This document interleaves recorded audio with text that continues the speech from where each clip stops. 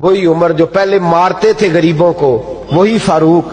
अमीरुल मोमिनीन बने चेहरे पे नकाब पहना गली से गुजर रहे, एक बूढ़ी अम्मा परेशान बैठी।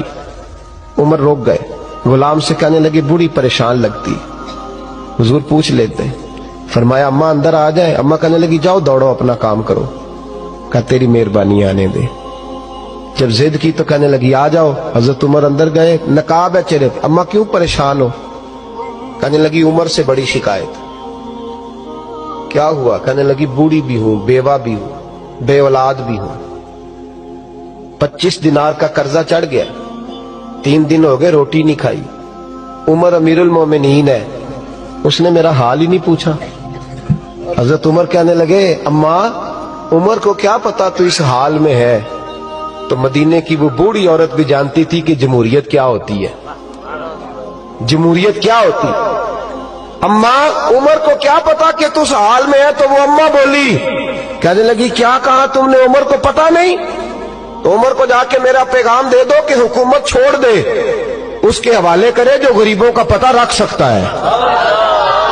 ना इधर उधर की तू बात कर, ये बता कि काफिला क्यों लुटा? मुझे रहजनों से गरज नहीं, तेरी रहबरी का सवाल है।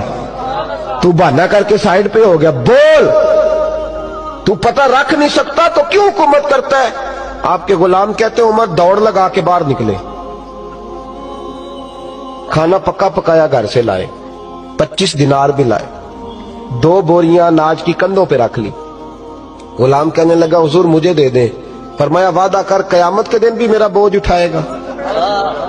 हुजूर, मैं नहीं उठा सकता। उमर लाए, उस बूढ़ी अम्मा को पच्चीस दिनार दिए, दो तीन महीने का राशन दिया खाना खिलाया।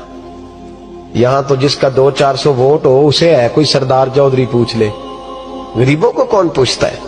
लेकिन जब मिलाद का इनकलाब आता है, फिर गरीबों की इज़्ज़त बढ़ती है। हज़रत उमर अम्मा के पैरों में बैठ गए। कहने लगे, अम्मा, चल उमर को मेरी खातर माफ़ कर दे। तो अम्मा ने एक लफ्ज कहा तो आपके गुलाम कहते हैं, उमर को इतना रोते कभी नहीं देखा जितना उमर आज रोए। अम्मा कहने लगी, मैं कोई नहीं माफ़ करूँगी। मैं तो बूढ़ी हूँ। किसी वक्त भी बुलावा आएगा। जब मैं मरूँगी ना, नबी पाक मेरी कब्र में आएँगे तो मैं उमर की शिकायत लगाऊँगी। मैं कहूँगी, महबूबा, मैं गरीबनी मजबूर, परेशान। आपने इसकी ड्यूटी लगाई थी? इसने मेरा हाल नहीं पूछा। आपके गुलाम कहते हैं, उमर इस तरह रोते जैसे बच्चा, उमर इस तरह रोते जैसे बच्चा बिलक के रोता। कहने लगे, अम्मा, इस तरह ना करना, उमर बड़ा कमज़ोर है। वो बड़ा कमज़ोर। वो ये शिकायत ना लगाना, उमर बड़ा माड़ा है, हुजूर का सामना नहीं कर सके। अम्मा कहने लगी, नहीं, मेरा दुख ही बड़ा है। मैं उमर की शिकायत लगाऊँगी। हज़रत फारूक के आज़म मिन्नत करने लगे तो बूढ़ी कहने लगी, चल, तेरी खातर उमर को माफ़ किया।